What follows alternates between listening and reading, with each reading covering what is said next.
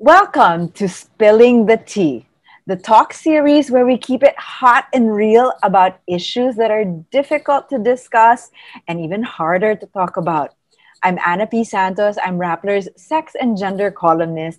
And today we're going to discuss online violence against women or instances where women are trolled or criticized and vilified or threatened in the online space or on the internet. So it's it's a it's a topic that uh, is dear to the to the hearts of our panelists today, and we're like every episode of Spilling the Tea, we're bringing real stories behind this issue. Joining me is my favorite fun, fun loving feminist advocate, Hershey Neri. Hi, Hershey.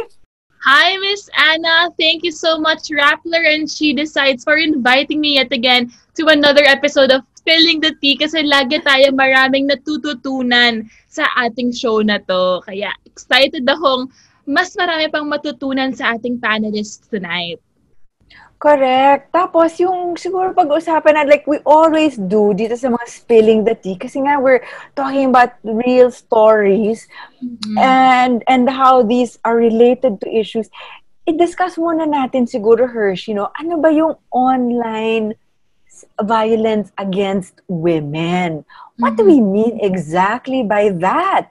Kasi marami yata siyang spectrum ikaw ba, Hershey? Kasi ako nakaranas na ako ng hinaharas ako online or kinakriticize ako online. I've been called stupid. I've been called uh, tonta. You know, all of these things. Um, meron pa bang ibang klasing viol- online violence against women apart from just you know being uh, criticized for uh, for your appearance for example or threatened can I ask about your experience, Miss Ana? Like, what hmm. happened? Mm. How, how were you um, subjected to violence online? As a journalist, I'm sure ang dami mong na-experience. I think most common in the space for us journalists is when we write something that is critical of uh, the the government or anyone who holds power. It's already become, you know, par for the course. I will never say that it's correct, but it has become par for the course to be called stupid, fake news, or you don't know what you're talking about. Yung I'm keeping it very sanitized pa, Hershey, ah, because you know when I'm called stupid, it comes with all sorts of expletives before and after it. But I have to say, buti na itanong mo, kasi when I got my first rape threat online, I didn't realize how that would affect me so much. Uh, you know, I'm I was ready to brush off the comments about my intelligence or my seemingly absence of it, and even my appearance. But you know, the the rape threat that I got was quite detailed in terms of how this person wrote what particular orifices they would like to violate and how. And it was really shocking because first I remember pa what was going in my mind. I saw it on on on the thread, and I remember like I froze kasi una-una, wow, this person took the time to really detail this unless they had a copy paste of that exact comment, right? And secondly, because it was so detailed, I felt violated. You know, unlike the other threats uh, or or even the criticism about being stupid, I didn't feel like my personal space was violated or that I actually felt scared. Mm-hmm. Especially, and threatened. Especially because you can't see the person talking to you. So you're like, nasan siya na, nasan na siya ngayon? Is he nearby? Or are they nearby? Are they here stalking me? I think that's one um, form of online violence against women, yung stalking. You know? Yes. my gosh. And you you know Hershey bring up another point there. Like the other the other you know criticism that was hurled at me i felt mm, it's online. I i don't know this person. This person doesn't know me. But when it became so personal about my body mm-hmm. that that what i used as a defense na hindi naman ako kalala nito hindi ko rin siya kilala. It's exactly what you said. Oh, this who is this person? Could they be tracking me? Or or are they following me biglang nag-iba, no? The whole, yung mold of what I thought was a protective layer between me and whoever was typing these comments online suddenly became kind of weaponized against me because I didn't know who they were, but they knew who I was. That's so scary. And I can just imagine, no? Kasi especially now in, in quarantine, mas laganap din ang violence against women. Also, online violence against women. And I'm glad that we have this safe space where we can talk about this. Kasi nga, we, we really have to take action. We really have to do something about this. And if if you know na journalist na ako I follow you talaga I follow your work Miss Ana what more? A lot of women who experience this. That's just so scary. My gosh. Totoo. Tapos yung minsan yung meron tayong sinasabi, and I think this is what we want to discuss here today, na kahit online man siya, yung violence na to, nakakasakit siya. Nakakasakit, nakakatakot. Yes. And it it's wrong. it is in its for that purpose, it is it is very, very wrong. Ikaw ba, Hershey, matanong kita, naka-experience ka rin ba ng ganito? Ikaw, napakarami mong followers lalo. Grabe. Actually, Miss Anna, um, one of my advocacies talaga is this. Kasi I call myself a victor, a survivor of harassment. Um, what happened before was I got physically assaulted by my harasser. Uh, but seeing us, no, ikaw you experienced online harassment, ako I experienced physical harassment, and yet, the impact, it's the same. Yung fear, yung fear for your life, yung anxiety creep, creeping in, parang, are they going to attack me anytime now? And this is something that women face every day. That It's so, kaya ako sobrang passionate sa ating series na to kasi it's really good that we have the space to talk about it. Especially since we have a lot of um, panelists na experts sa ganitong field. We have advocates, we have activists, and we even have feminist allies here joining us full spectrum na naman uh-uh. tayo, Hershey. o sige, alam natin, si sa ating dalawa pa lang, naka-experience na tayo ng different types of violence against women. And this is just, you know, between the two of us. Pero marami pa nga dyan iba't ibang klase. So mm-hmm. let's go and listen to the stories of our panelists. Kasi ito nga, when we have forums like this hosted by She Decides, it's always about personal experiences and how we can relate these personal experiences to issues so that she can decide, you know, to take control of her life, her body, and her future. Hershey, mm-hmm. unahan natin, sino ba ang mauna sa mga, introdu- introduce natin ng mga panelists natin? Yung first natin na panelist, she's an actress and an activist. Let's welcome Miss Kat Alano. Hi, Kat. Hi. Hi, Kat. Hi. Hello. Hi, Ana. Hi, Hershey. Thank you very much for joining us. Thank you. Thank you so much for having me today. I'm so happy to join you guys for this conversation. okay, Miss Anna, sino naman po ang ating second panelist? Ang susunod, si Bans Alcasir. Siya ang isa siyang founder ng Bantay Bastos. This is a Facebook group where you can report these uh, messages uh, of violence or threats. And Bans, you're also a member of the Young Feminist Collective, right?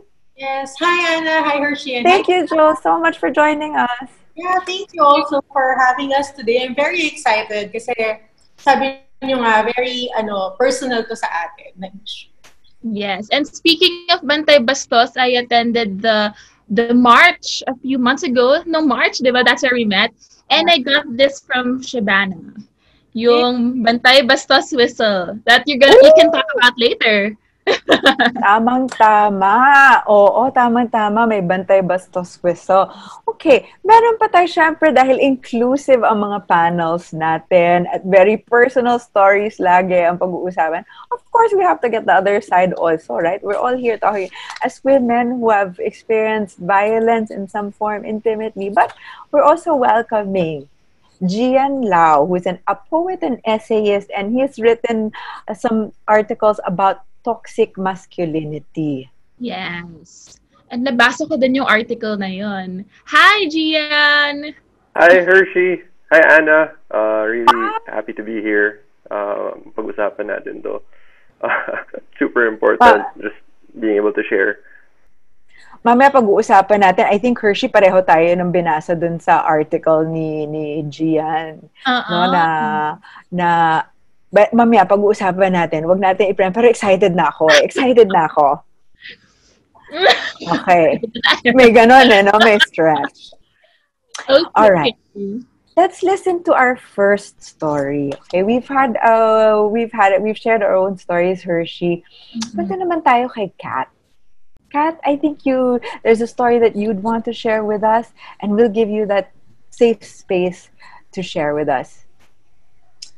Yeah, thank you, Ana. Um, well, for me, I mean, my story is is quite well known if you follow me on the internet. Right, this has been going on for six years, so it's it's pretty public already. But um, so I was raped by a celebrity when I was in show business, and I came out about it in 2014 and uh, when I admitted that I had been raped, I was viciously attacked online by thousands of people, bashing me, um, calling me terrible names, and saying, you know, death threats, rape threats, uh, that I deserve to be raped, that I'm a prostitute, that I want to be famous, fame whore, you know, all these horrible things.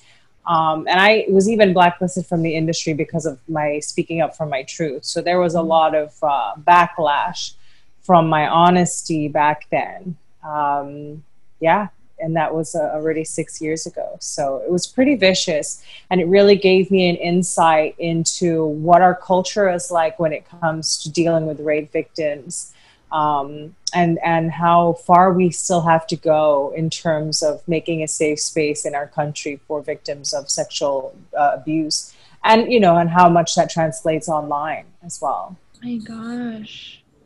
Kat, you talk about this issue a lot, and you do. You this is also, you know, you you become an advocate because of of this issue. What is it that you would like to other people to know about violence against women and in what other space of the conversation do we need to bring this so that we do better in terms of respecting victims or as hershey said victors you know and also the pursuit of justice um, you know, that's a multi pronged question, Ana, because we have a lot of things that we need to cover in that. But the one thing I always like to mention that people don't know about um, is that before 1997, our anti rape law used to state that rape was a crime against chastity, which means that if you were not a virgin and you were raped, uh, if you went to court, they would find you at fault for having been raped. So it was a blame game for victims talaga. Like if you were raped and you were not a uh, you were not a virgin,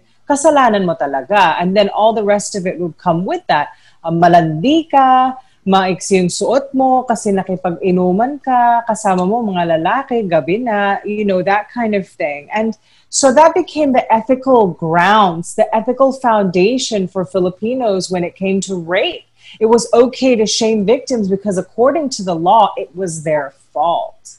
You know, and so this law was changed in 1997 but because people you know ordinary people don't study the law you know in many cases unless it has something to do with them um, people don't know about this fact. So, culturally speaking, we are still basing our ideas about rape on the old law, meaning we're still shaming people without even knowing we're in the wrong according to the law already at this point, you know? I think very important, Hershey, yung sinabi ni Kat about laws. Because, you know, laws by, by their very nature, they define what is acceptable in society and what is right and wrong. And therefore, meron talaga siyang parang knock-on effect dun sa how we treat each other and what we perceive to be as right and wrong also. Kaya meron din pagbabago, I think, no, that needs to be done in in laws. That's the long game, Kat, mm-hmm. right? But immediately and within our sphere, I think, you know, there's also change that can be made, right? In terms of uh, being better listeners, believers when we hear stories like this from yeah. mostly women. Yeah. Yeah. You know, uh, when I was being bashed, the majority of bashers were actually women, and a lot of them had actually been raped. But because they didn't want to admit to themselves that they were rape victims, it was like if I admitted I was raped, then it made their rapes, you know, real as well. And so they wanted to shut me down. They wanted to shut me up so that they didn't have to face this reality for them. They just wanted to like brush it off as an ugly sex encounter or you know, something along those lines instead of what it actually is, which is, you know, rape and against the law, right? Unfortunately, we also have a problem in terms of briefings uh, on the law for judges and lawyers. So sometimes in courtrooms, they're still uh, ruling with the old law in mind instead of the new law.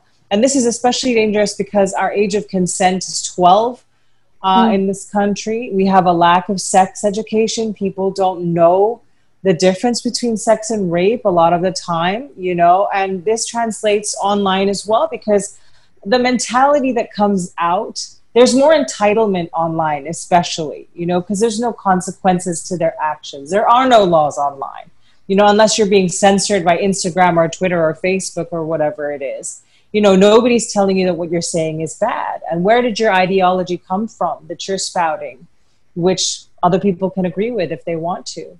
you know? Yeah, I, I just wanted to add yung sa justice, no? Sa justice system. Ako, can I can I share my story? please, please. Safe uh, space. I, I safe just, space. I just remember kasi, um, so diba I was physically assaulted. I was strangled um, a few meters away from our college gate. And then the college didn't accept my my case against the student because it happened outside school now so anyway um i i still filed the case against him and uh, uh, i still filed the case against him sa isa pang office. And then dahil doon hindi siya makapag-graduate so what he did was he filed a case against me sa Manila City Hall. So nagkaroon ng mga hearings yan sa hall. And like what Kat said, no, yung justice system natin, I remember being asked, how many times have you had sex with him? What were you wearing? Were you wearing shorts? Are you promiscuous? And then I had this whole um laban, a whole fight against me being promiscuous and I had to defend myself that I'm not promiscuous and that I don't sleep around. And parang sobrang weird na ikaw na nga yung sinaktan, ikaw na nga yung, yung um, victim nung time na yon but they still attack you. Now you have to prove your truth. You have to prove that you're not a slut.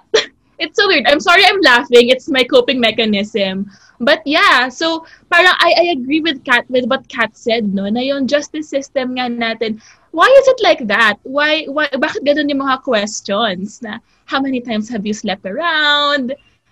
did you enjoy the sex? Yung mga ganyan. Well, the actual answer to that is that because they would have to discredit you in court.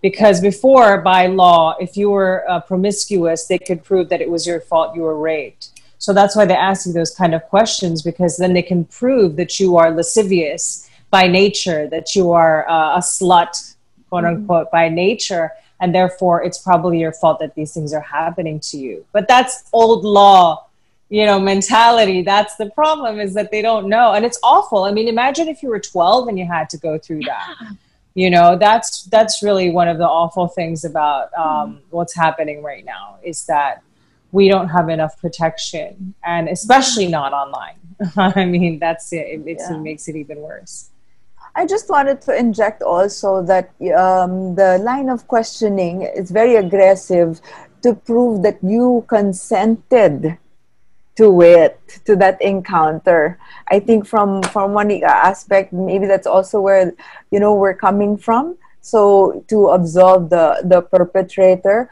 that's one. But then the other thing is uh yung subtext nun is so what kung sex worker ako? I can still be raped i can still be assaulted basta it's against my will i did not want this to happen So meron din ganun subtext na you can only be raped if you're uh, a woman of a certain type, 'di ba? Pero it can happen to anybody. Exactly. Exactly.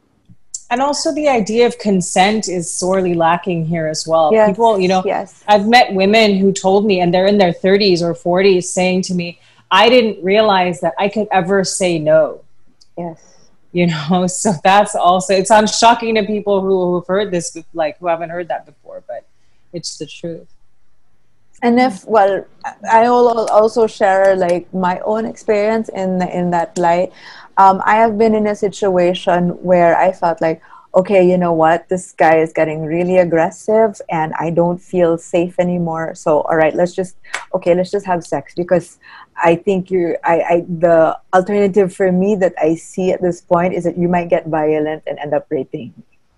I have also come to that's eh, to your point, Kat, that consent is is a slippery slope, right? We think about it. Yes, we know the definition of what it means, uh, giving a yes, but you, it's also sometimes, in my example at least, in my lived experience, it can be coerced from you because you feel like that was the only choice you had at the time. Oh my God. Okay, bago pa yan, meron pa tayong punta muna tayo sa, ah, ang dami na natin pinag-uusapan dito pa lang sa did you know, against women. Did you know something though, Ana? Did you know that by law, even if you consent at the beginning of the sex act, if you don't want to do it anymore in the middle and you say no and you want to stop, that can already be classified as rape by law. Okay? This ha- so this happened to me many years ago, Kat. And you know, when you were speaking about your experience and how women also reacted to your experience, I saw myself in various parts of that. It took me years to admit that to myself. What I just said now, it took me years to admit that to myself. Mm. And then to even think about, I actually had an option to say no in the middle of it. I, it didn't even occur to me it yeah. was really more about uh, my safety. I need mm-hmm. to get home tonight. Yeah. Was my was my primary concern. Yeah. So iba-iba yung hulma, I think, no? And I think that's why we have discussions like this when we talk about concepts like online violence and consent, when you think about them as words, it becomes abstract and it's parang just very black and white. But yeah. in lived experiences of women in the different contexts in which they happen, there's a lot of things to consider. Yeah, I and think that also, uh, sorry, Ana, uh, I think that also because it's about sex, right? That people automatically equate sex with something romantic or like, you know, consensual or love or, or you know, something to do with those things or, or you know, making out and sexy time, you know, that kind of thing for, for to be polite, right? Um, they don't they don't it's either sexy or it's violent they don't know about the in-betweens the ones that are you know marital rape or boyfriend and girlfriend rape or you went on a date and he got the wrong idea and then he just wanted it you know that kind of thing. Sometimes it just happens or you're in a club and somebody just slips it in while you're in the bathroom because you were un- unconscious or you know you were drunk or whatever it was people don't have any idea. And yet because of this cultural thing that we have we don't even want to know the facts. We're just willing to call everybody a whore and that's it be done with them you know as if we're defined by the men that touch us or or who abuses us right? We're the ones that are then tarnished because of what's happened So, again, goosebumps ako ngayon. Oo. Ang dami, yeah. yung so many layers, right, in terms of um, where this is coming from. And thank you, guys. Nag-umpisa pa lang tayo, pero yung feeling ko na this is also very, a first time where I see the parang layers being peeled off, no, and the different experiences mm-hmm. and how they it's different. It's really different in um in in different ways. Kaya kailangan din pag-usapan. Hindi lang yung what we we just know on the surface. Yeah. yeah. Ana, let me put it to you this way. And people always, you know, when they actually think about it, they think it's so weird. When somebody's house is robbed, right? Do you then turn around and you yell at the person who was robbed, like, kasalanan mo yan kasi hindi mo nalak yung pinto mo kasi ganyan, ganyan. You know, no, you get mad at the person who robbed their house, right? right? You're like, that guy's a criminal. He should be arrested. He stole your stuff. But if somebody violates your body, your own body, your own, you know, your only real possession in this world, the thing that is yours, your human right, right? If somebody violates that, people turn around and tell you it's your fault. I mean, doesn't that just put things into perspective of how nuts it is and how much, how little sense it really mm. makes, you know? Mm-hmm. Absolutely. Absolutely. Kat, from there, I'm going to turn over to our other panelist. Hershey, pakilala natin yung isa nating friend din na may experience on the other side of online violence against women, this time receiving reports. Yes. Oh? Yes, she's actually one of the people behind Bantay Bastos on Facebook.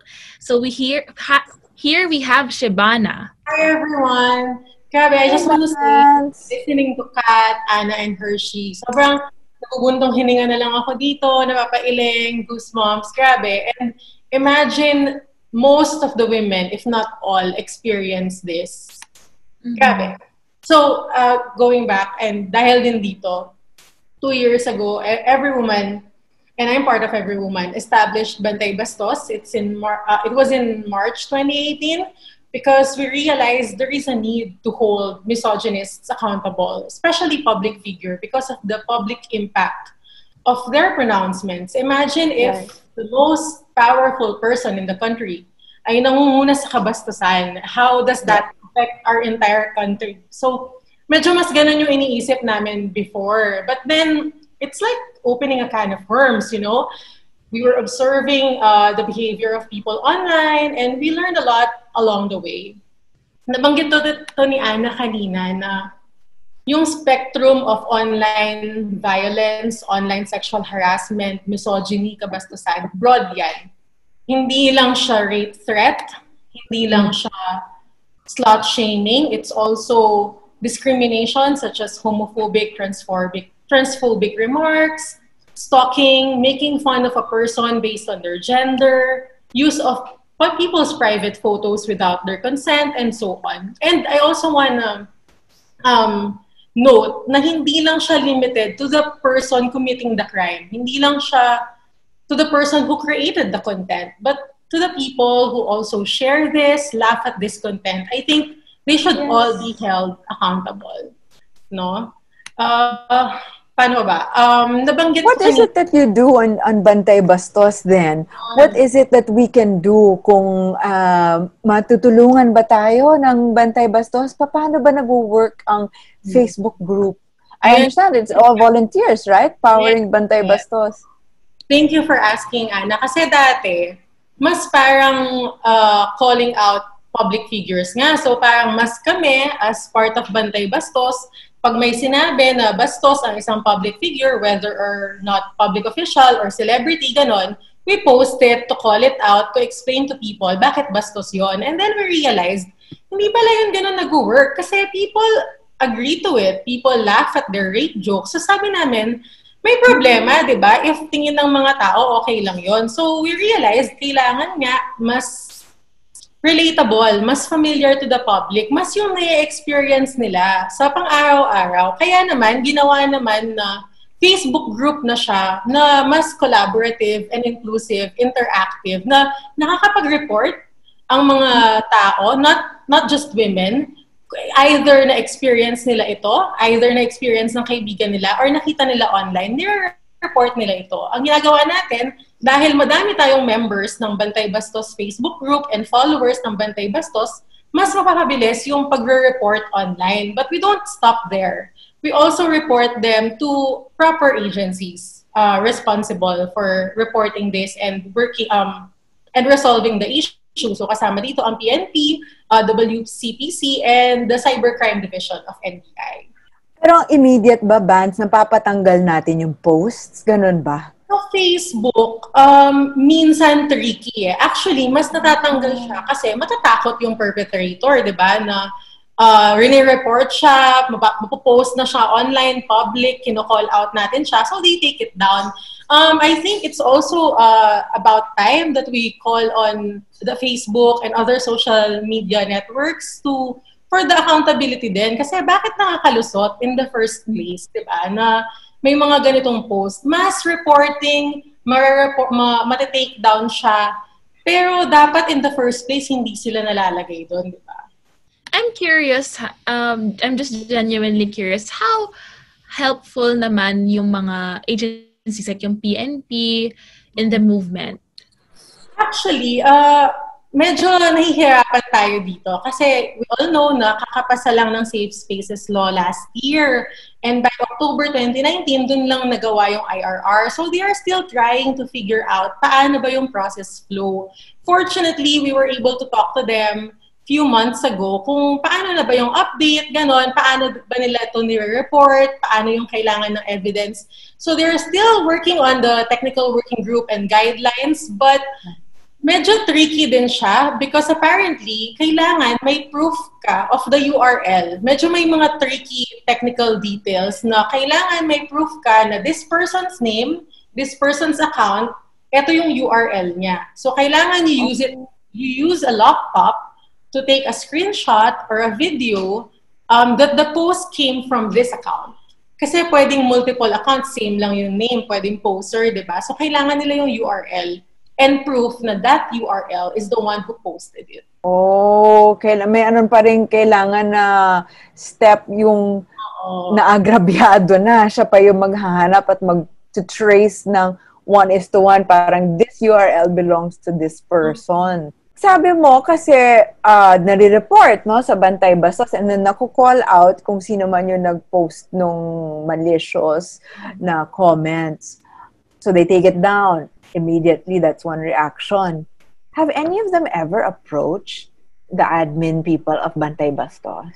Yeah, actually, ang nangyayari, they are begging, apologizing, messaging us to take it down or na wag na silang i-report. Parang, sige na, ano, uh, hindi ko naman kasalanan, hindi ko naman, either sabihin na, I just shared it or I didn't know that what I was doing is wrong. Um, sometimes even their family members would approach us kung minsan naman mga magde-deny na that wasn't me, that was probably a fake account or na-hack. Na-hack yung account. Yes, madaming mga ganon. And you know what? Um, since COVID happened, tapos naka-quarantine tayo, sobrang dumami yung cases online. Kumbaga, nag-shift yung public space that we know from offline to online. Kaya din tayo nag-start nung ganito kasi ang lala, ang lala online sexual exploitation of children, child pornography, hindi na lang siya yung what we know na slut shaming or posting of photos of women, lumala talaga.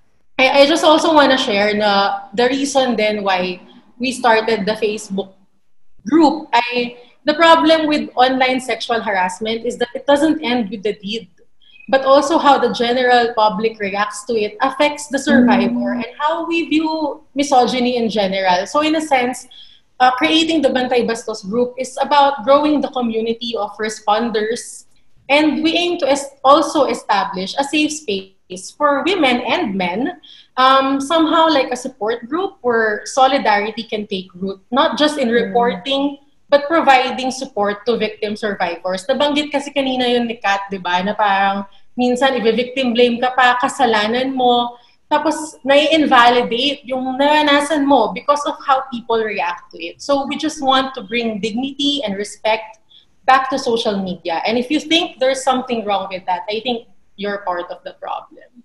Hershey, parang kung pag-iisipan ko yung mga nag, nag-resonate sa akin sa, sa dami ng shinare ni Vance sa ni Kat, parang ang daming very not so nice, no, let's just call it bad behavior, bad bastos behavior that's so entrenched in our culture.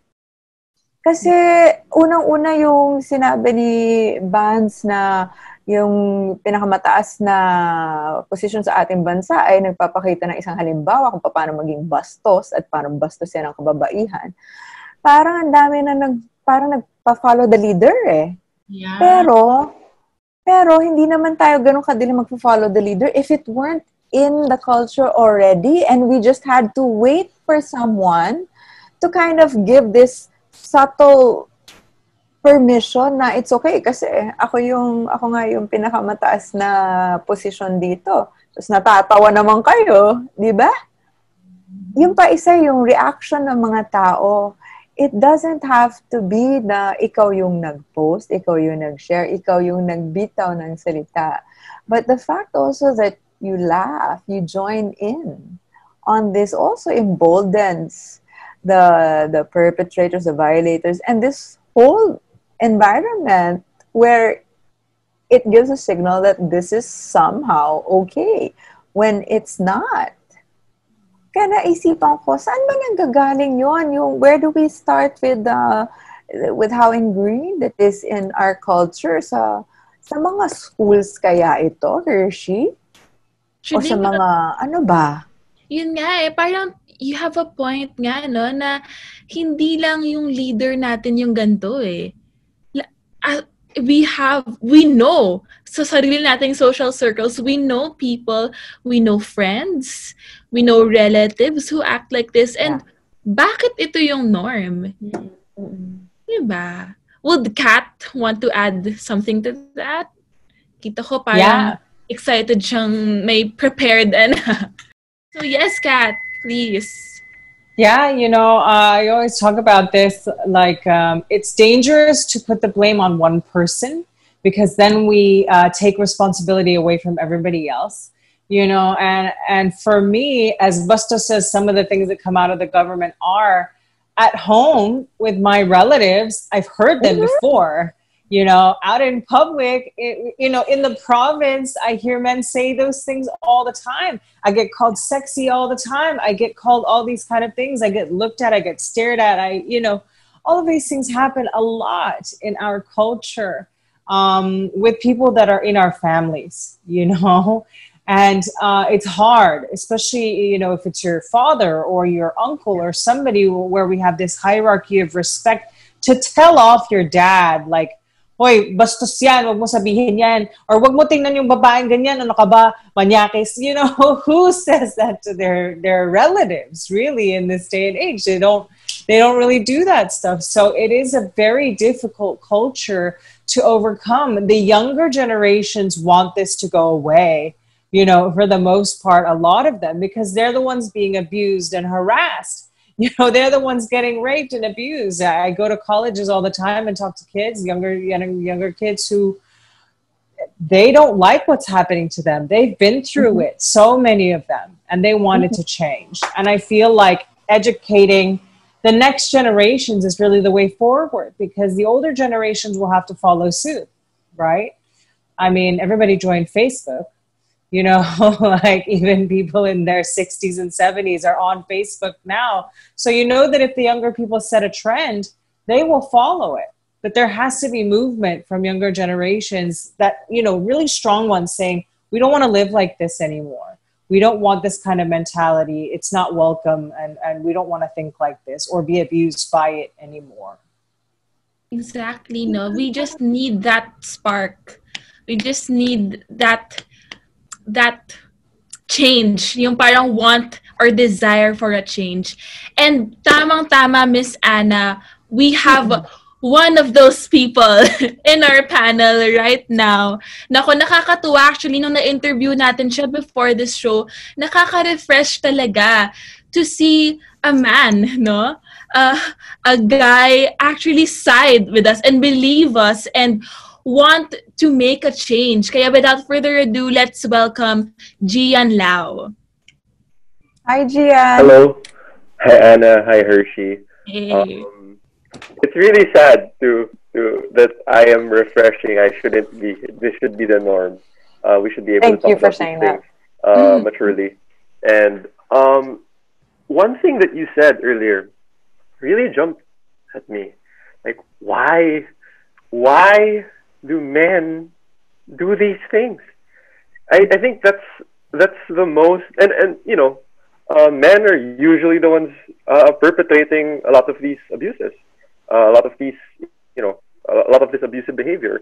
Why do we do this? And um, as you mentioned, I wrote an article about it, uh, reflecting on uh, what drove me to do this when I was younger.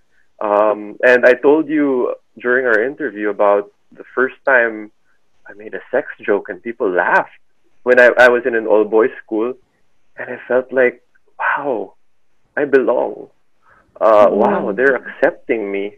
I'm part of something. We share a secret. We You're did cool. something. Yeah, I'm cool. We did something that wasn't allowed, you know, mm. and uh, it's it's a secret that we share, and now we're bonded for life. Maybe if I say enough of these sex jokes, they will make me president. You know what I mean? Like that's how it felt, and you know, we we see it. Uh, we see it reflected uh, reflected in society. And I was thinking about it overnight. And why do we behave like this? Uh, well, one is that sense of belonging. Uh, one is, you know, but why why are we using this also as a means of deciding who's in and who's out, in you know, just as boys? Um, and I and I do think it's kind of the way we perceive love and sex, uh, the way we were educated about it. Uh, what do you know about love? What do you know about sex? Well, uh, this is how, how, we're going to depict it. How, do you, how did you find out about it? Uh, you watch movies. Uh, you saw uh, people older than you talking about it. Like it was this, mm. you know, mysterious, secret, enjoyable thing. Or there's this whirlwind romance. These are the ways that we depict romance and, and love and, and sex. And how the, the next question is how do we get it? How do we try it? Because it seems so interesting and exciting and looks like it feels good. So uh, these days, you Google, try Googling it. How do you, you know, how do you have a healthy sexual relationship with someone? You might get led to one of those pickup artist pages. We don't talk about it enough. How you know, you know, when when I started dating, I um, I became single again 2016 and I started dating and I realized, well, how do I even do this? Um, how do I, you know, go out with someone? Um, you know, I want to have sex. It feels good, but how do I do this the proper way? Who do I ask? And really, yeah. nothing. I mean, people are gonna give you the game, you know, or uh, lead you to pick up artist pages. You need to be alpha you need to neg someone and you need to I don't know do all this you know creepy things underhanded uh, stuff underhanded stuff you stalk someone and maybe you make yourself appear like you're you know you're a dominant person when you're really not and it's really unhealthy as well for for for men like that teaches you to really you know hate yourself and when when we have like these ideas of romance, grand ideas of romance and you know and, and sex, uh, and you don't know how to get it, you do like the weirdest things, and you resort to the weirdest things. And I think that's you know that's that's the you know part of the problem. Uh, how? And if you don't get it, you know what it feels like? It feels like you're rejected, you're ugly, no one likes you, and it really um, it goes back to that sense of belonging of being accepted yeah. by people, by, by your peers, by boys, and by women. Uh, you, you're just doing your best to avoid rejection, and that drives everything. I'm not saying that um, this makes all that you know, all that you know crummy behavior all right.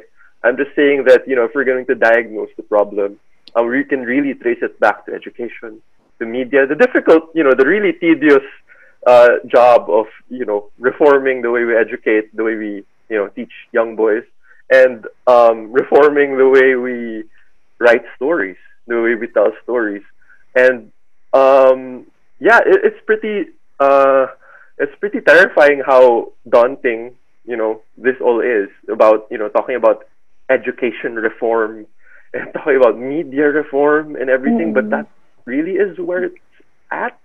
Uh, teaching people how to love, how to have relationships, uh, how to be ac- accepting of yourself and of others because uh, you know it comes from accepting yourself and it really uh, this this all this machismo thing is really just giving all of us a mold that you know if you do this if you're good at basketball if you're in a band if you know if you have a girlfriend who you know looks a certain way then you are a man and I, I wrote about this in the article we make it so difficult to be a man um, and there's this idea of precarious manhood where it's so difficult to attain and so easy to lose.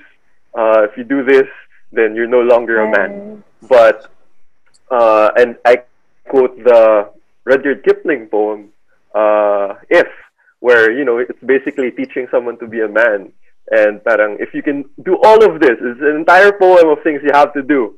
If you do all of this, yours is the world. Your, yours is the world, or something like that. And what's more, you'll be a man. So being a man is actually, you know, above owning an entire world. So that's, you know, we really put it on a pedestal, and it's so easy to lose.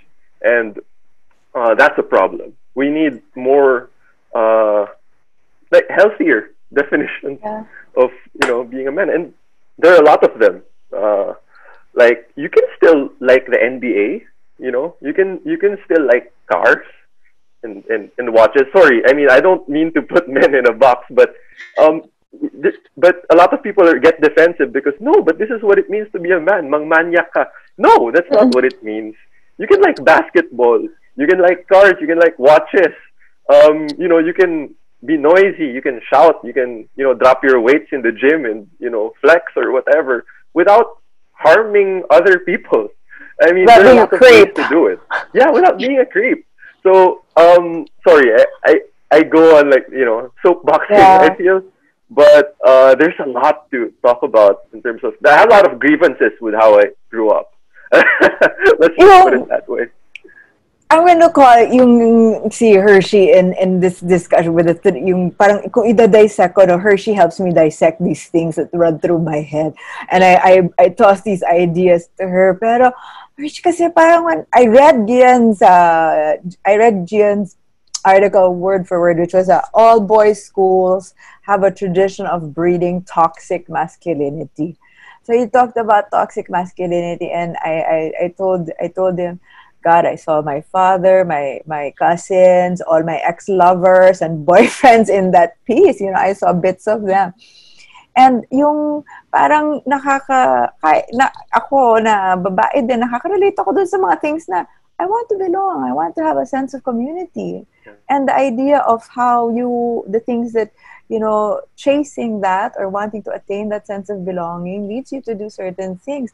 Kaya lang parang ang kitid ng avenue for men of what gets them that belonging. It all seems to be related to power, dominance, usually over women, and the dominance over women comes into, yan, uh, sexual aggression and, and violence. So parang I, I think from our schools, what you know, not pick up. That was my biggest takeaway. This is where we can start expanding the definition of what beca- what it means to become a man. Mm-hmm. Mm-mm. Hershey, meron tayong pasok tayo sa mga schools, no? And, and the role that it plays first in becoming an area where we can learn and learn new things and unlearn bad habits and bad behaviors we have a guest here who is going to speak to us about her own lived experience when it comes to sexual violence in the schools. Yes, and actually, our special guest for tonight, she is one of the members of Teresians Against Sexual Harassment and Abuse movement. Let's welcome Hannah Dayan. Hello. Um, so, uh, basically, my experience is not that you know parang not that deep compared to others but it was something that really struck me for years. Because it ano growing up in an all girls school environment um syempre uh, they teach you they embody in you the idea of being empowered women of becoming female leaders once you get out of that school. And then what really put me down the most was that um wom, uh, woman pa yung nag, ano sa akin, yung nag-put down sa akin. So, it was around 2018. I just turned, I just had my debut nung April. And then, syempre, I changed my photo on Facebook to something related to my debut. And then, months after, uh, my family and I had this really planned family vacation in Japan. And then, this discipline officer randomly messaged me on Facebook asking me, ano, Hannah, is that you in your photo? And I said, yes. Why? And then she said, take that down because basically you're ruining the school's reputation for having that photo. And then, syempre, I was I was in the middle of vacation. I didn't have school by then. I was going to come I was going to come back to the Philippines a few days after my first day at that school. And then ano parang I told my mom about this. As in we were just hanging around in Japan and then I said, "Ma, pinapapalit nung officer yung picture ko." And then she said, "Hala, bakit naman? Eh, debo mo naman yan, ganyan." Tapos sabi ko, I don't know, kasi parang malaswa daw, kasi parang it showed daw my cleavage, ganon. Tapos wala, parang sabi lang din ng mom ko na, just change it, parang sumunod ka na lang, hayaan mo na siya, matanda na siya, ganon. So, eventually, I had to change it. And then, I told her na, pinalitan ko na. And then, she said na, it's good that you already changed it.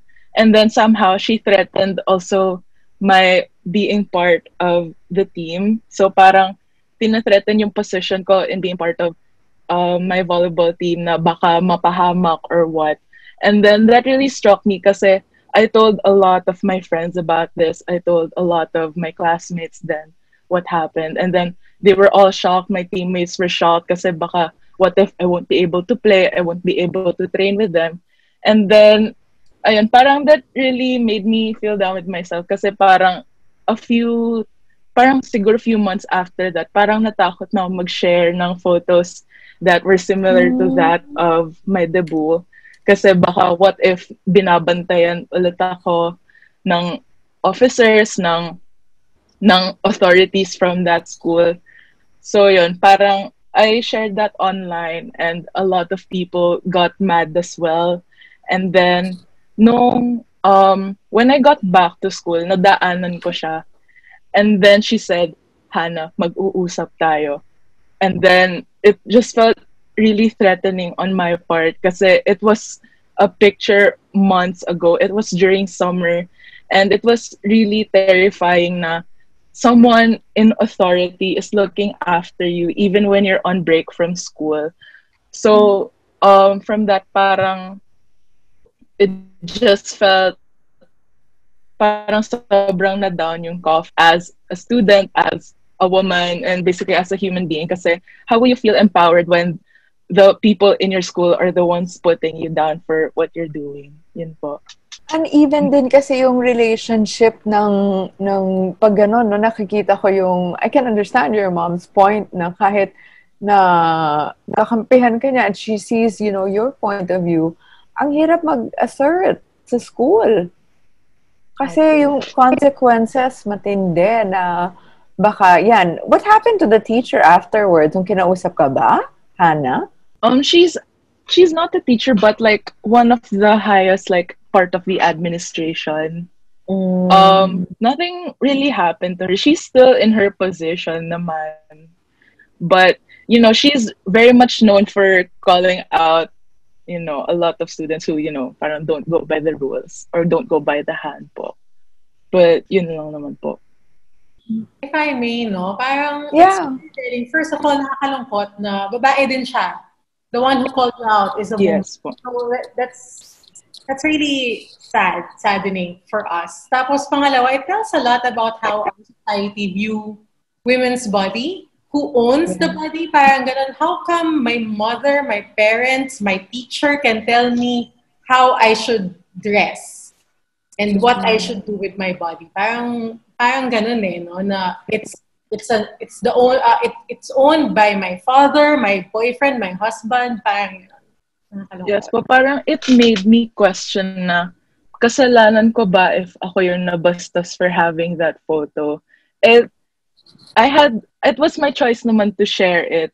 I wasn't thinking na, okay, bahala na kung mabastos ako because that comes with it. But it shouldn't come with it.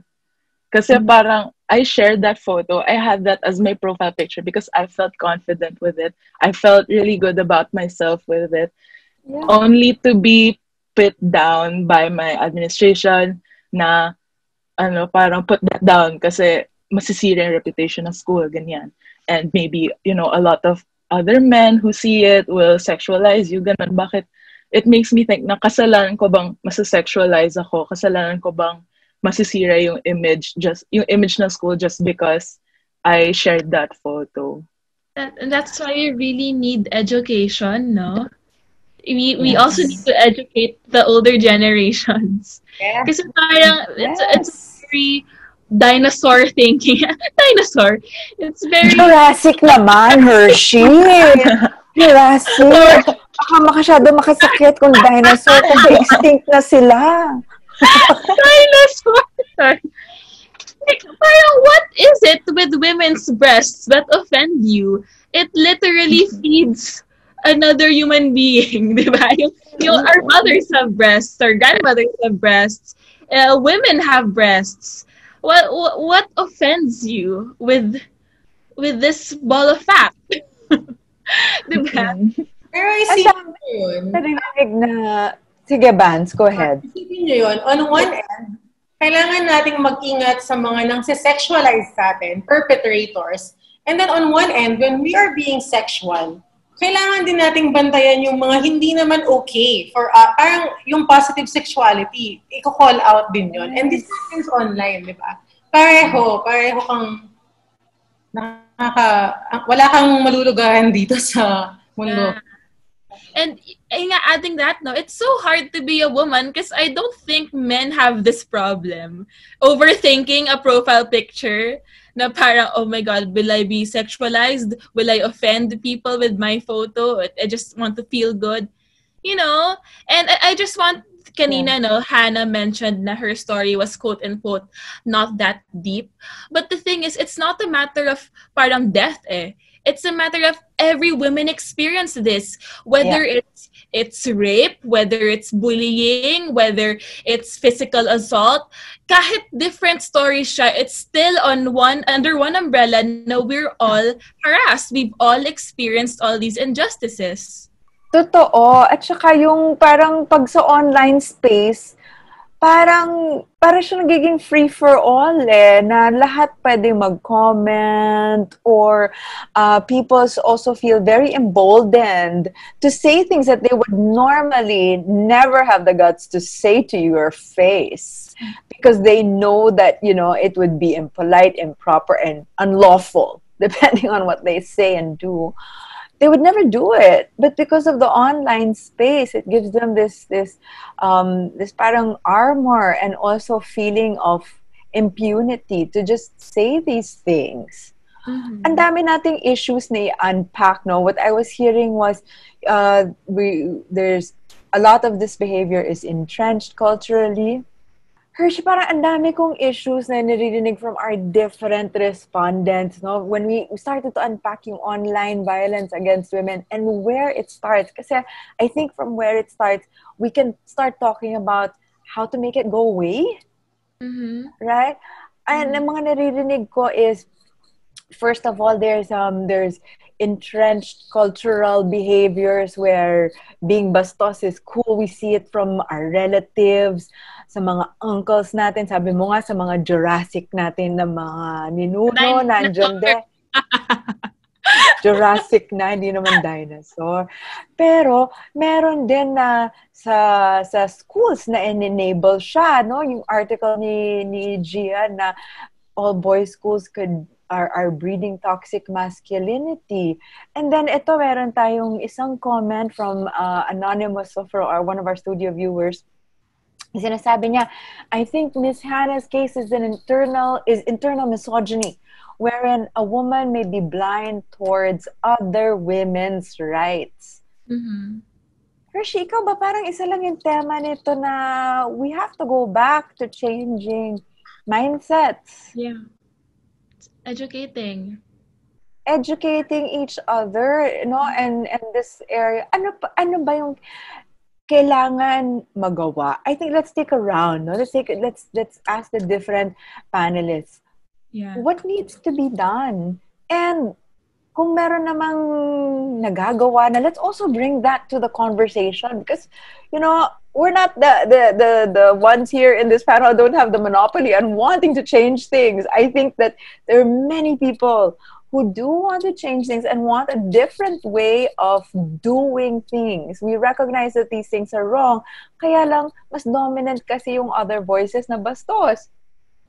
let's take around round sa, sa panel. Let's start with Bans. Sige, hello. Ayan. Uh, very, gustong gusto ko talaga yung question kasi kami din nakikita namin how, you know, some of the perpetrators are minors and we think they really don't understand the severity of what they're doing, how it affect other people. And for me, kailangan nating balikan, parang sinabi ni Ana, kailangan nating balikan saan ba nila unang natutunan yung sexism, yung kabastusan. Paano ba to na, saan ba siya rooted? Possible na yung um, pag-explain sa kanila kung ano yung karapatan ng mga babae, lalaki, paano dapat kumilos ang isang lalaki versus isang babae. Nasanay sila na dapat ang lalaki uh, matapang, mayabang, ganon, di ba? So, kailangan natin yun makorek. Once we know where it's coming from, then we can find the solution. So, para sa akin, mahalaga, of course, na magsimula siya at home. Ako, uh, I am looking forward to uh, see uh, the parents, yung mga millennials ngayon, uh, when they become parents, I am sure they will be raising their children, not just uh, girls, but even their, uh, even the boys, as feminists. You know, raise your boys as feminists. Raise your sons as feminists. So, magsimula sa bahay, sa eskwelahan, sana natuturo din siya sa eskwelahan at an early age. Um, you know, different aspects of masculinity. It doesn't have to be um, hypermasculinity and toxic masculinity, di ba? Um, and aside from teachers, you know, peers, ako, naghahanap ako ng way, how do we make um, uh, fe- femi- feminism or maybe how do we make um, how do we make feminism cool again? Na gugustuhin ng mga kalalakihan na hindi maging bastos kasi ang cool ay maging uh, mabuting lalaki na hindi nang babastos ng kababaihan. So, kailangan nating makahanap ng way na ganon, especially online. Ngayon, dahil online na tayo, napakadaming avenues and platform no, para pag-usapan ito. We should start involving men in the conversation, not just um, bilang topic, but parang ito, kasama natin si Gian, and hopefully, eventually, more men ang magpa-participate sa ating discussion. Um, Meron ito, actually, si Gian is also familiar with this. Uh, our friends from Disgruntled Young People started Usapang Lalaki para kasama, para involved yung mga lalaki. Yung mga lalaki, pag-uusapan nila, saan ba nag-root itong uh, misogyny and sexism? And sila-sila, uh, also with uh, other women, their, uh, their org mates, pinag-uusapan nila, how do they change this? So I think it's a healthy, wholesome discussion, di ba? Yeah. And it's redefining usapang lalaki. Kasi yeah. diba, pag boy talk, locker talk, diba? Pero Oo. here, lalaki. And I just wanted to add no, sa sinabi ni Vance na um, teaching the next generation. I just want to share what my sister does with her sons. Sobrang natutuwa ako. Uh, so I have nephews, mga preschoolers sila. And then, syempre yung mga kids, they find comfort when they cuddle with my sister at night. They sleep with my sister sa bed. And then they hold my sister's breasts. And then my sister um, teaches them consent. Like parang, for example, she doesn't want yes. them her, them to hold her breast. She says, "You cannot hold my breasts, but you can hold my tummy." Okay, mommy. Or when they when they hold her breast, she's gonna say, Remember, um, what when you were a baby, what did you do with my breasts? I drank milk. Ganyan. So parang alam nila na, na it's not sexual. It's parang a specific it's an anatomy it's part of a body. Yeah. and then she teaches them okay when you touch my tummy um wh- what what happened when you were a kid and what happened with my tummy? I was uh, ayan parang your tummy was my house. Kaganan yung bata. Oh. and then later on um she says okay what happened sa vagina ko? Sabihin ng kids i came out of it So parang it's very scientific, 'di ba? Natutuwa ako na wow, you can teach this to kids na the breast, the vagina, 'di ba? When we growing up, it's so offensive to talk about vagina, to talk about breast. It's it's like parang a bad word. But why is it a bad word? It's a it's a normal part of the body. And yung sister ko nga, she she was plugging kasi she's a teacher. And then she was plugging this children's book na pinapahanap niya sa akin. Um, the the title is Meron akong titi, something like that. Yeah. Uh, yeah. Do you know that book? Yes! it's wonderful. Yeah. So parang it's a book that talks about the penis. Na kasi 'di ba parang yung yung yung glorification of penis, remember like ah wala kang bayag o pataasan tayo ng ihe or wala kang palakihan. Yeah. So it's it's pero here they teach the children na it's a part of the body. It's not it's not something na parang better than a vagina. It's just a normal anatomical part. yeah, mm. nakakatuwa lang like when you said education, it really starts from home. So if you have nephews, if you have sons, you know, let's start with that.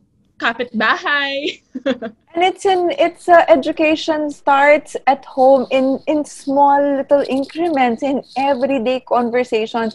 Ang ganda-ganda ng example ng sister mo because it's uh, it's a very clear message, right?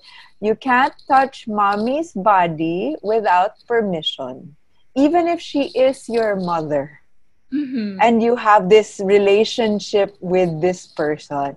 So, parang I can imagine that that you grow up with a thought that just because you have a relationship with the person doesn't give you access to their body, you still need permission. And then napaka everyday example of what you know you can do and and uh, you can bring these concepts into normal conversations because I think we've had a series of these talks already on on spilling the tea and something that's always consistent is how you know these conversations need to keep on happening first yeah. of all in small amounts you know for people to get malaki siyang konsepto eh, di ba? Online uh, violence against women and stopping it, you know, gender and sexuality. These are big concepts. When you take it, uh, break it down into little bits that you talk about little by little, but every day or regularly, it becomes a part of you. Yeah. And it becomes part of that change that you want to to see behaviorally within yourself and the mindset that we are talking about and the people that you also interact with. Yes. Ang ganda ng usapan lalaki, Bans. I must say. Naintriga ako. Yeah. And speaking of women who talk about it every day, one of them is actually Kat Alano. So maybe Kat, can we ask, no, what are other concrete steps we can do to make a change? Um, you know, I completely agree with Bans and and about the whole thing about uh, we need to involve men in the conversation. That's a very big deal because um, we live in a patriarchy. Unfortunately, it's the truth, and uh, unless men start to agree that women should be treated equally and fairly, it's going to be a difficult road for just women bashing on the door of equality, right?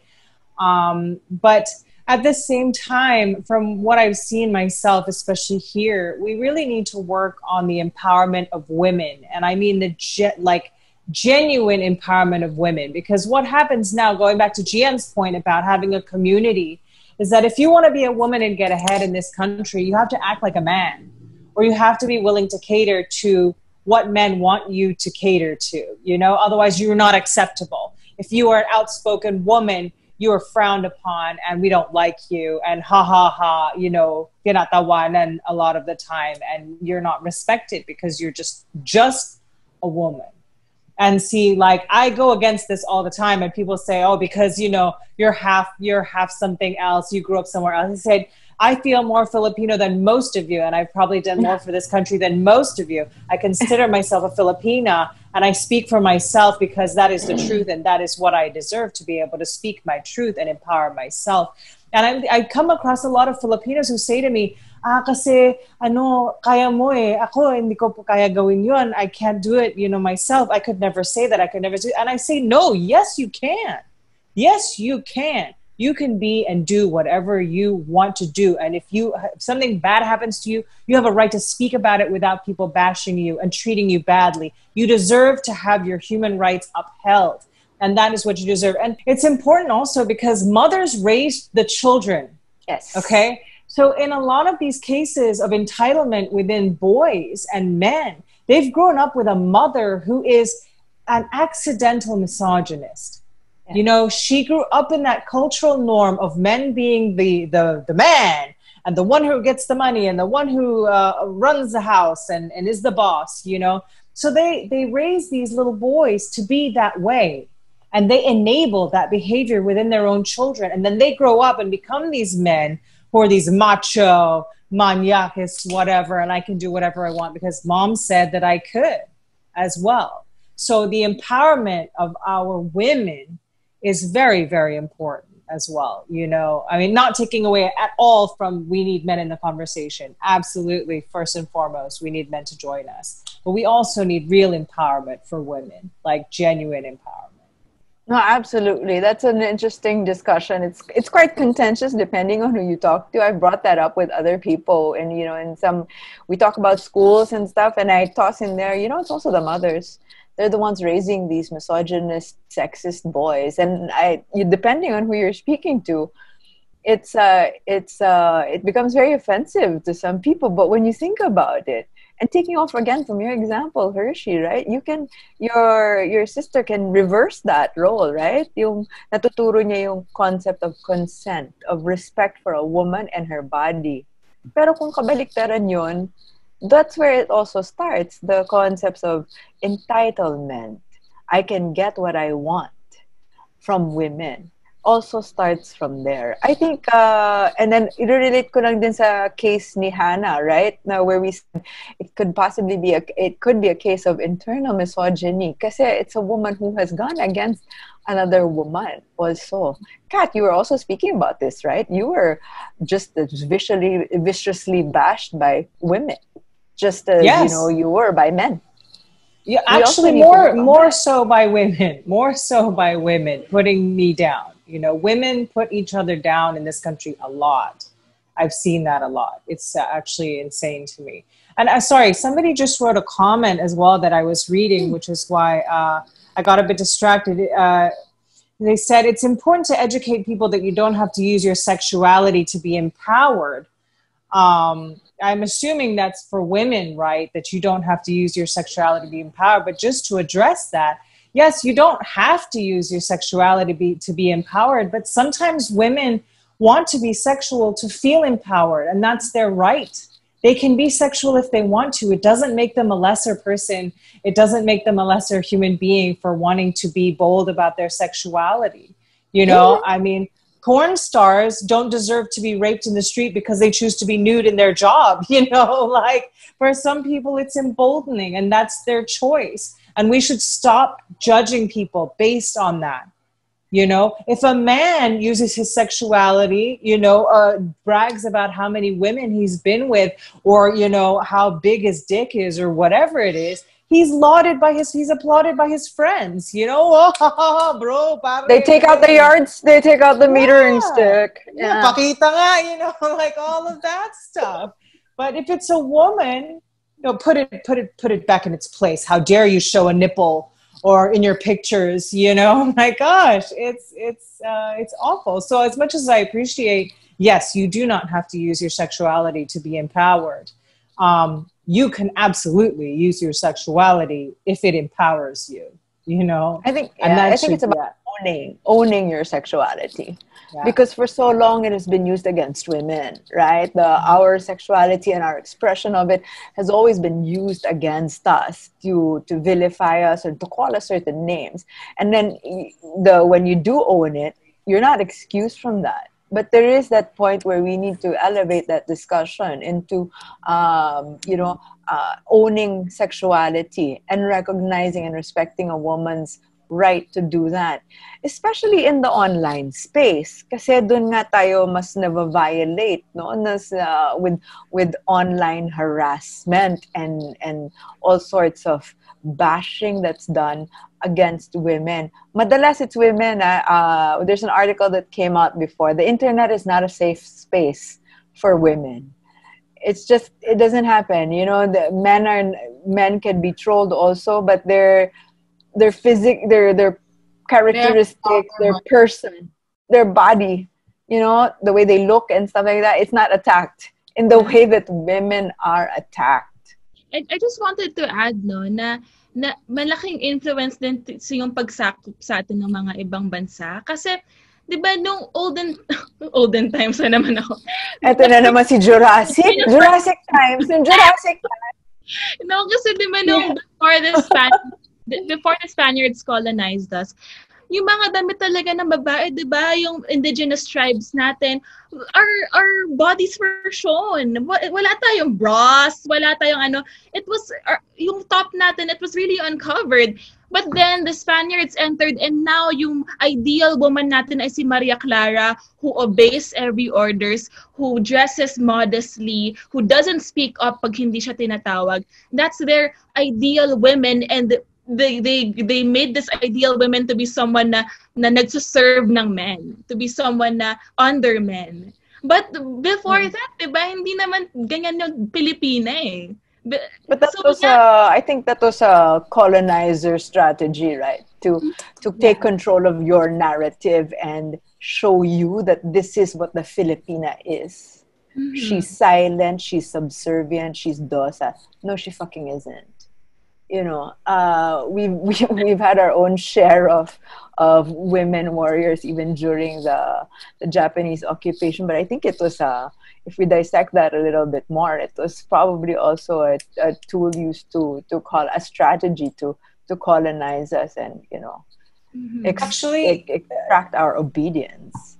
You know, if you want to look more into that, the movie Walang Rape sa Bontok by Carla mm-hmm. Pulido Ocampo is a really good watch because it, it, it addresses our cultural heritage and our tribal nature about women being topless, about men and women living in harmony together, and like rape being abhorrent. Like all the tribal elders, if you say rape, are like, "Whoa, why would you do that to mm-hmm. a woman? That's terrible," you know. And that was our culture.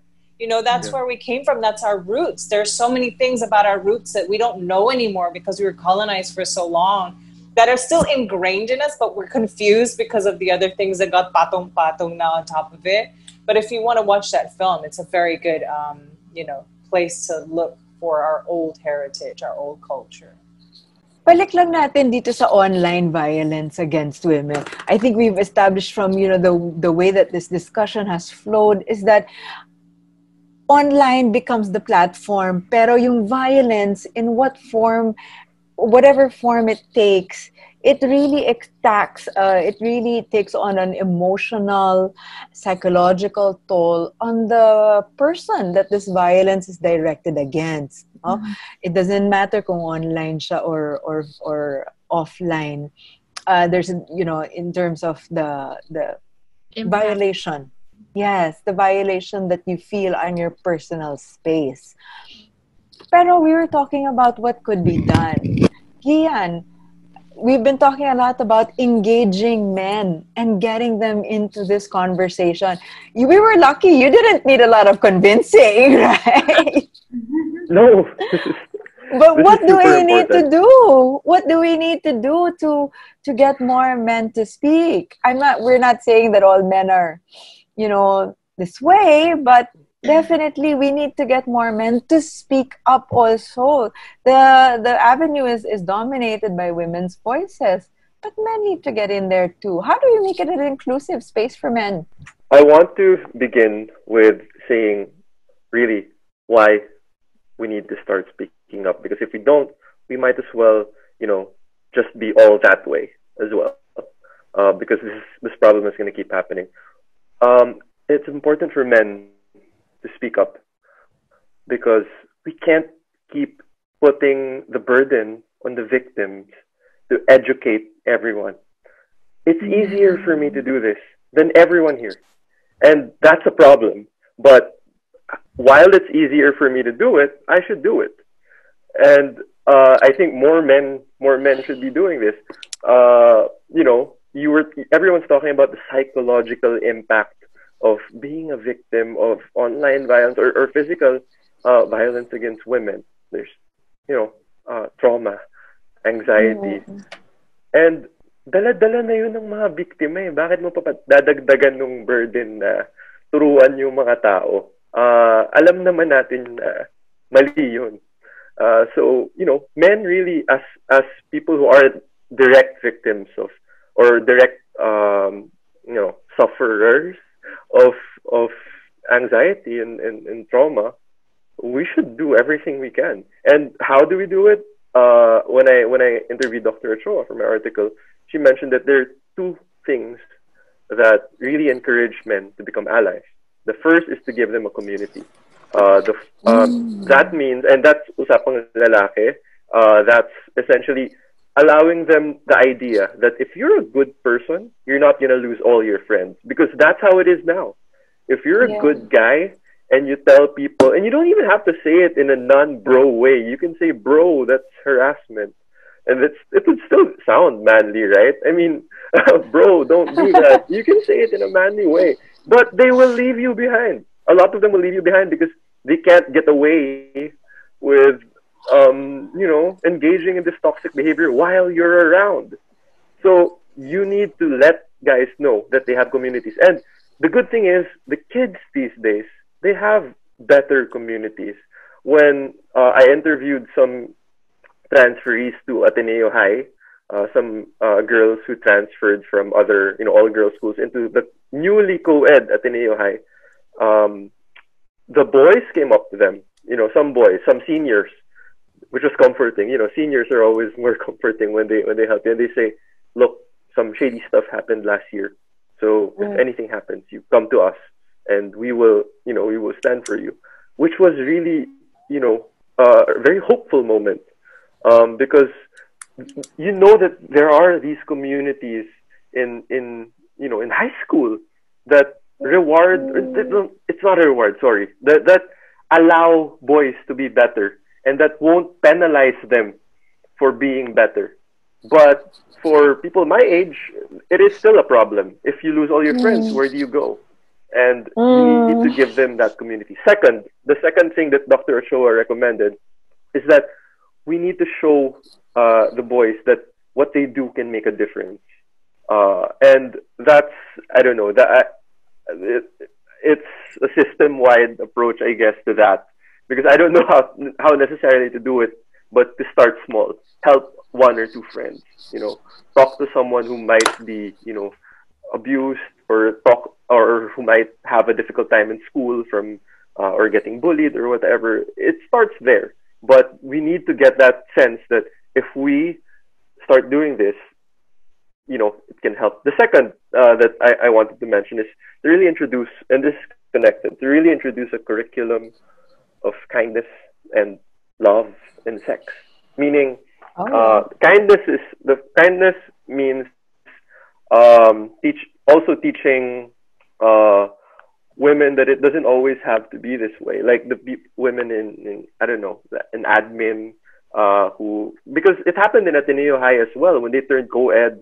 Uh, I heard reports when I interviewed people. They said that it was the older uh, women teachers who were saying mas madali turuan mga lalaki. And uh, that, that was really surprising. And um, when they also police what you wear or what you post, yeah. it really has that sense of, it's a very Filipino culture thing. If I went through it, then you should also go through it. Um, oh, it's yeah. like um, just the justification we use to not pay people a big salary when they start out in you know in whatever industry. Uno, nag-umpisa ako, ganito lang yung bayad eh. Uh, or nung umpisa ako, sinisigawan din ako. I really, you know, perpetuate these cycles of abuse just to have that satisfaction. Is it even satisfaction to know that someone else also went through this misery? So um, we need to really hammer in the kindness because kindness is what tells us, wait, it doesn't always have to be this way. I don't need to treat the interns like crap, uh, you know, once they come in. And that's how I say it because I've never experienced, you know, um, the that you know kindredness of among women, that supposed kindred kindredness among women. But mm. that's how I practice it. Like I, I don't treat the interns like crap, and um, I don't want them to go through what I went through, and I don't, you know, the same way that I wish that my seniors never, you know, allowed me or let me go through like horrible stuff, or my bosses never treated me like crap. The the curriculum of love and sex is really um, it's out there. You know, love yep. is a nice thing to feel. Sex is yep. nice for most people.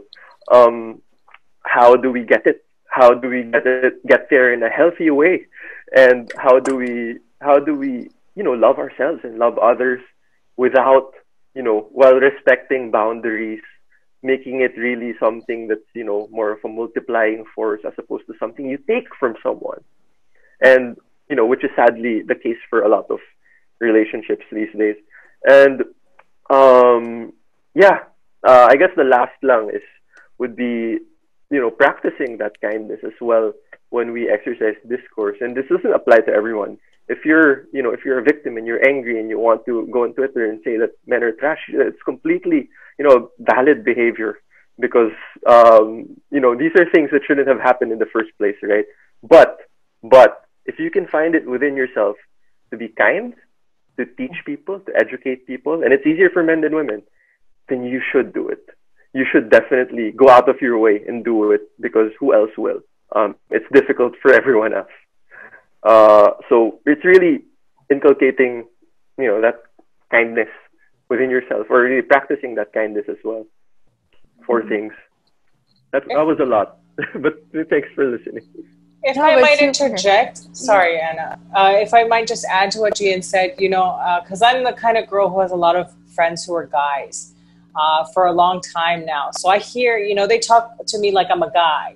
And I hear a lot of them complain about girls that they end up with or date. You know, they're all crazy. They're jealous. They're they're so messed up. They got so many issues. And I'm like, that's because they dated so many nasty men who treated them badly and now they're damaged and you don't want to deal with it. So if you want the women to be whole, you got to make sure your friends aren't treating them like crap. You know what I mean? And that needs to be a cultural thing. If women are being raped, abused, sexually harassed, they're going to be messed up after a while. The older they are, the more abuse they've been through. In the most is is what usually happens over here. And I get so I get I argue with my guy friends all the time that if you want to have women who don't have issues, don't give them issues. You know, that's really one of the things too uh, that we need to talk about as well. We have one comment here. I'm going to read it out um, from Katrina. I transferred to an all. I transferred into a before all boys school, so formerly an all boys school. They had girls in senior high, and we were not allowed to wear skirts because men will objectify us.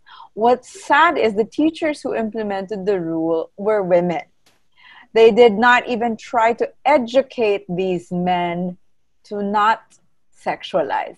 So again, the burden was on the women uh, to to not be yeah.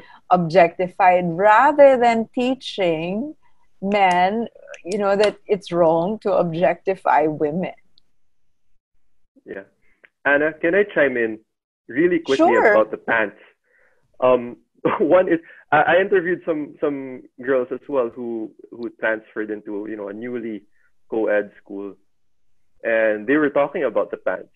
Uh, I, I think I'm familiar with this policy. I know where it is, but those pants they were they were happy that oh oh my god pockets.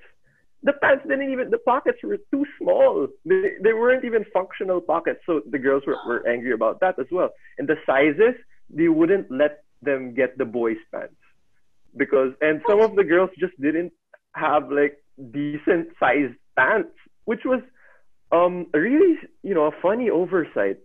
Um, when you when you think about it, you transition into a co-ed school and you transition to a new new uniform, and uh, obviously the new uniform policy was not like streamlined, and um, no one bothered to. Apparently, the faculty meeting where they decided this, or the admin meeting where they decided this, no one even asked, even among the uh, you know women administrators, well, what happens when you know the girls want to pee? Like, so peeing is just harder for them, or I don't know. and, um, but you know, these are mechanics that I am not entirely familiar with. I'm just sharing the uh, sharing, I guess, what what they went through and the thought process that they, they put into it. They didn't didn't even think about the you know the girls' experiences. Grabe. Parang yun ang default eh, no? Yun ang default to police the girls.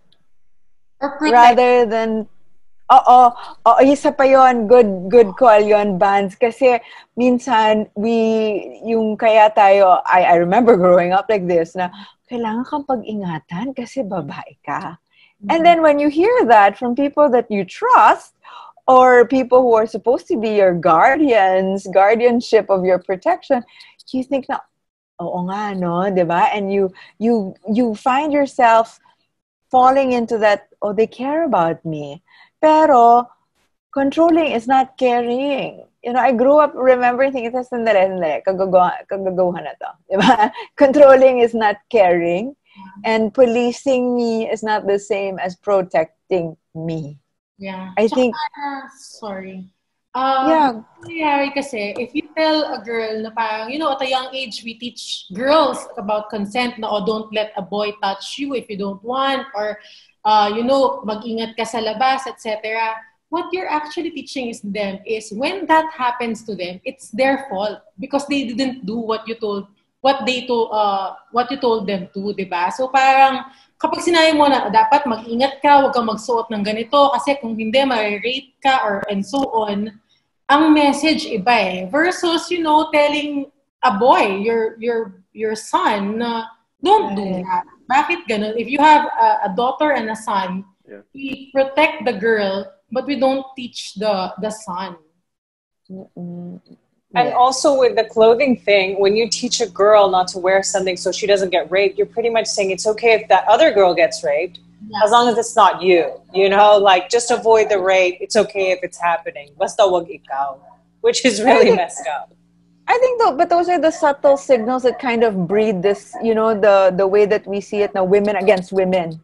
Mm-hmm. Mm-hmm. Women looking down against a certain kind of women that they perceive to be right as bad. The, those comments. Girls. Diba? I'm not that kind of girl. Don't be that kind of girl. But that's what they tell us women. In, and I, nakikita ko with the examples that, that were, were brought in, parang that kind of feeds into that toxic femininity kung meron mang ganon. Yeah, yeah. Mm-hmm. Actually, meron tayong isang interesting question here. Mm. Um, How do you differentiate objectification and admiration?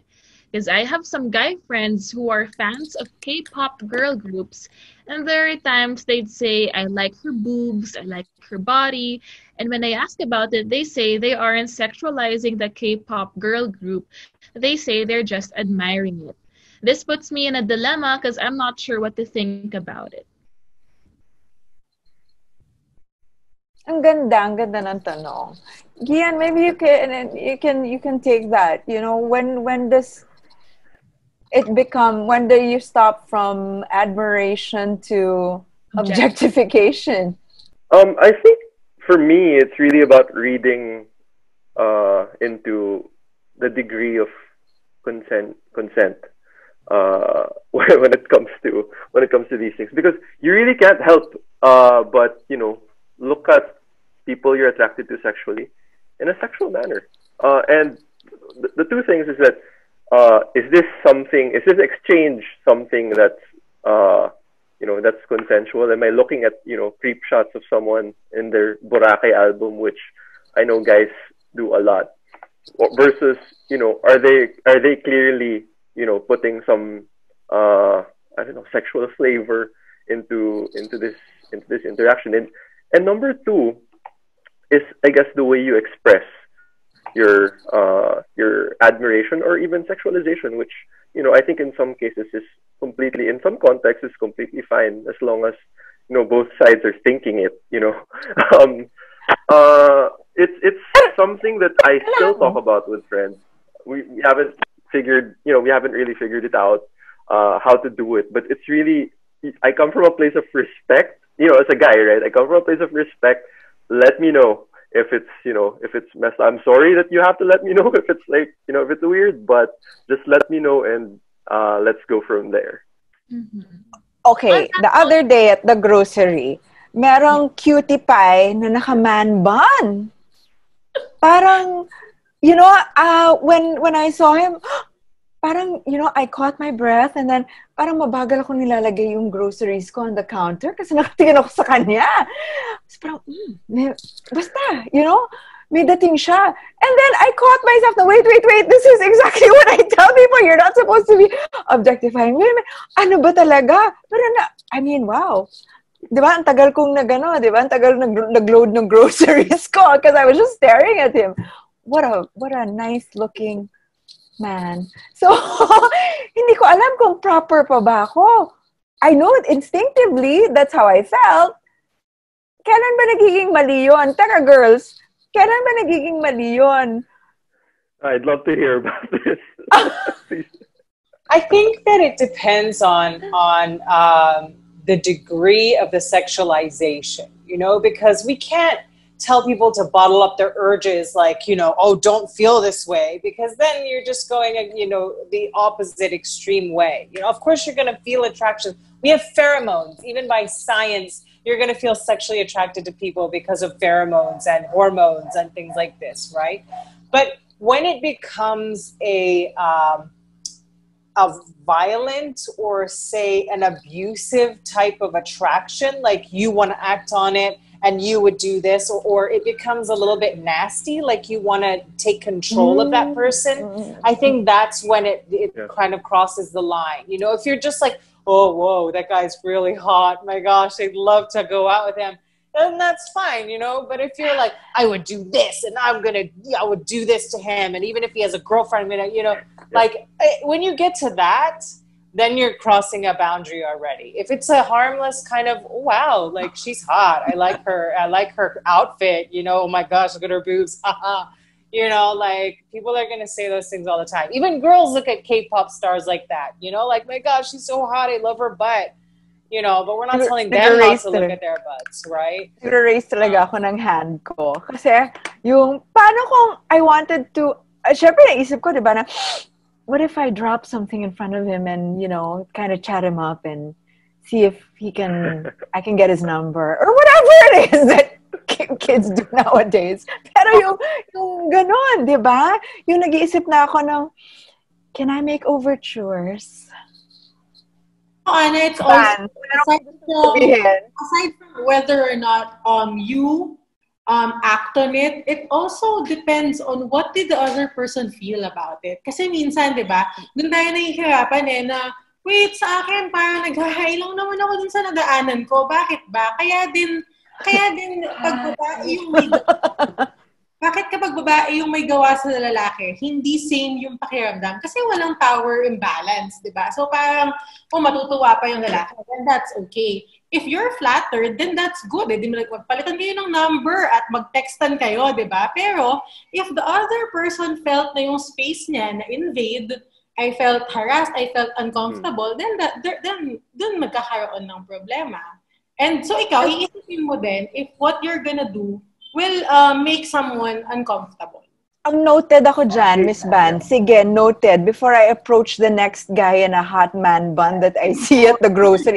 Doon lang naman ako nagpupunta ngayon eh, sa grocery, di ba? Pero naririnig ko sa sinasabi ni Ban. And Gian, you can also interject. Parang, as a woman, I shouldn't also assume na porket lalaki ka, you're gonna want me to make overtures. Just because yeah. you're a man. You're supposed to want it all the time. Swerte ka nga eh. I tried to make a pass at you. Mm. Hindi rin dapat ganon, right? Yeah. Oo. Actually, same siya yun ang issue ko sa, bakit kapag uh, celebrities, kapag men um, admire, objectify women, celeb female celebrities, we react. Pero yung mga girls, tayong girls, we also objectify male celebrities. Actually, even Vico Sotto. Sorry, mm. pero sobrang subject siya na, oh, parang si baby ko, ganon, di ba? bakit okay lang? So parang ako, I feel like dapat pantay kasi gendered response, even when we are calling out someone dahil ba masama siya, okay lang i-call out siya sa ginagawa niya. Parang ganon, di ba? Pero may nag-raise, ako hindi pa ako masyadong solved dito, pero may nag-raise nga sa akin na iba kasi yung effect kapag sa lalaki because may power um, may power sila more than women, iba yung nagiging effect ng pag-objectify sa kanila. Parang ganun in-explain sa akin. Kasi ako, I think, dapat fair. Dapat wag din tayong ganun, girls, di ba? Pero, yeah. Correct. Pero may nagbanggit. Ang ganda. Hershey, I, akang ganda ng, ng, sige, Gian. Then we'll have to wrap up na. Pero Gian, oh, Gian, Gian, just, please. Just, yeah. Just this linguistic observation. Um, I think the way we express desire is is super super interesting. Um, when some of my friends talk about their K-pop uh, idols, they don't really say na gusto ko gawin sa kanya to. No, you know, they actually put themselves under them in, in terms of power dynamics. Step on my neck. Alam mo yun? And um, parang, you have the power. I give you the power. May merong, merong ganong, merong ganong dynamic. It's not the healthiest thing, I guess, to say, to tell someone to step on your neck. But um, you, you are giving away the power, you know, and and I think that that's what makes it a little okayer. Meaning, meaning we can get to an expression of desire that's okay. Like when I see a cute girl, I can say something like, "Grabe, gusto ko siya pagluto ng almusal," or something like that, and that sounds better. In in some way, I'm sure there's a smoother way to kind of say it, but you know, you can express your desire. Just don't do it in in a manner that's so colored by your you know power imbalance. Just don't um, be creepy. Do yeah. yeah. Don't, don't, be, be creepy. breakfast, breakfast is a good fantasy. Uh, you know. Yeah, breakfast is nice. Yeah. So breakfast is. If a man walked over to me and said, "I would love to cook you breakfast one day," I would not be insulted. I'd be like, "Oh, that's really sweet. Thank you, but I'm taken." You know, but I wouldn't be offended. You know I mean? like, you'd tell all of us, right, Kat? Those are those are one of the things that you'd go to all of your girlfriends. Like, oh my god, this guy just came up to me, said he'd love to cook me, cook breakfast for me. It's the exact thing you'd want to tell your other girlfriends. Yeah. Oo, tama nga yung use of words. Kasi parang sometimes we receive messages from men na parang, Hi, I just want to say, I really admire you. I think you're really beautiful. And pag if you don't feel creeped out with it, you know na he comes from a good place. But yung iba, mag-message na lang ng penis nila. Like, out of nowhere, like, oh, oh. men, they just show their penis. And I'm like, what makes you think I want to see your, your penis? Who does that work for? Who yeah. does that work? Can somebody yeah. tell me who that works for? Who does the penis picture work for? Oh. Really? I'm curious. You know, sometimes I want to send them back and say, I need to fact check this. I need to fact check. Yeah, that's that's awesome. You should actually put fact disclaimer, you know, fact checked. This Object is false information. My God. Oh. Grabe oh. Sobrang saya ng discussion na to. Oo, ang sayang ng discussion. Ang dami na rin natin na-discuss. Nag-umpisa tayo sa online violence against women. Napasok rin natin yung, you know, real-life experiences of violence, being stalked, being threatened. I think we all we saw here clearly that there's a relationship between online violence or you know the way that we're bullied and bashed online and the way that it's done offline, meron talaga siyang correlation, no? Nagko-continue siya. Nagko-continue siya. And at the same time, it also, uh, we also saw where it's coming from. Like, we, we, did a, we did a good round of the different ways that these things these behaviors are normalized in mm-hmm. our society. And at the same time ang gustong gusto ko rin dito Hershey sa talk na to we didn't stop there. We didn't stop at you know talking about the problems. We didn't stop at talking about um, just griping. We also talked about the avenues where we can all be better. Even we even checked ourselves. Us women checked ourselves right? You know in terms of hey, girlfriend, what kind of behavior now isn't acceptable in 2020? so, I like that discussion so much na yung parang lahat enriched sana sa napag-usapan. Yeah. Super. And I didn't even feel like it's been one and a half hours. Parang feeling ko 10 minutes pa lang. wow! Talagang ano. Kasi, kasi Jurassic. Nag-umpisa tayo sa Jurassic period. Part of the day. Oh, oh. And, and I just want to thank Bans, Kat, and Gian for sharing with us no yung experiences nila. And also, I, I learned a lot of new facts today.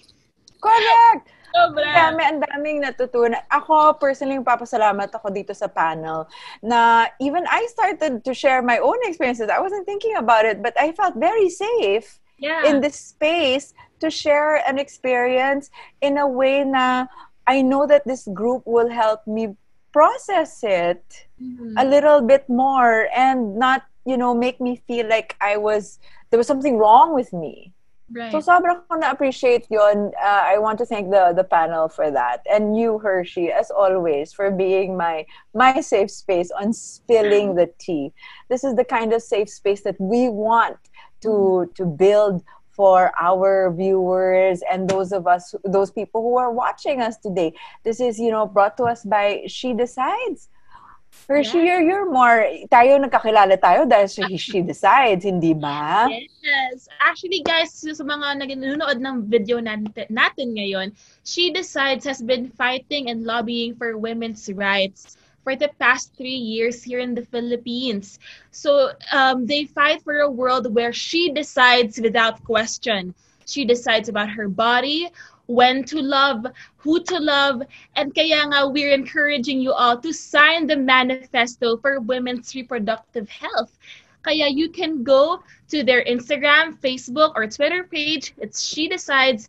Click the link in their bio. The manifesto is found there. Or if you want to go straight to it, it's shedecides.com slash manifesto. Para naman we can all fight for a country, for a world where she decides without question. Salamat, Hershey. Narinig niyo po yan. Kung, you know, we can continue this discussion on the She Decides platforms. We can keep spilling the tea, keeping it hot and real on issues and on real stories. This is the way that we make a better world and a more compassionate place, safe space for everyone to be in. Thank you, everyone, for joining us for this episode of Spilling the Tea, keeping it hot and real on online violence against women. See you next time.